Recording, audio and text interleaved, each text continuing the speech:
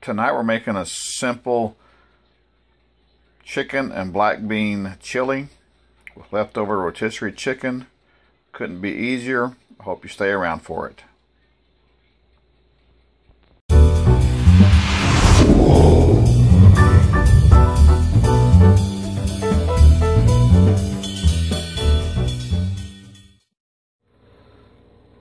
To our sauteed onions, we've added one 16 ounce jar of salsa verde and we've added half cup of water.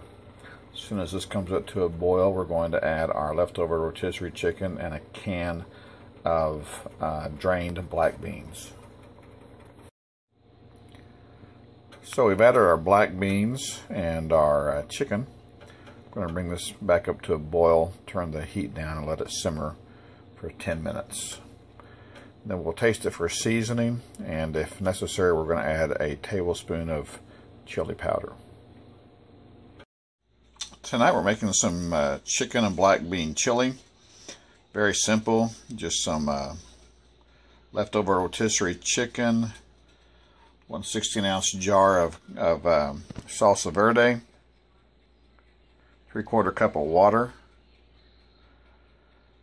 can of drained black beans, about a pound of, of leftover rotisserie chicken, serving it with some plain yogurt and some crackers.